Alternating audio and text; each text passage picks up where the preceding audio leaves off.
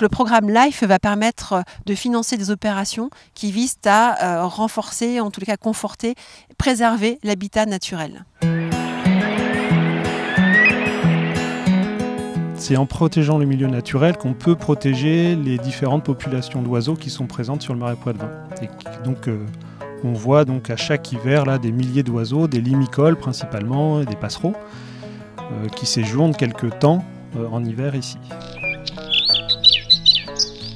L'autre enjeu d'un programme live, c'est aussi de sensibiliser le grand public. On est face désormais à un changement climatique majeur, avéré, c'est factuel. Donc on essaye à travers de colloques ou de conférences euh, très particulières qu'on appelle des shows scientifiques, on mélange des artistes et des scientifiques pour expliquer en fait quelles sont les conséquences, comment ça fonctionne. On a également produit un livre là-dessus et on sent qu'il y a un vrai intérêt de la population là-dessus, donc on va continuer à expliquer de la façon la plus pédagogique possible aux gens euh, les impacts du réchauffement, du changement climatique sur la façade atlantique.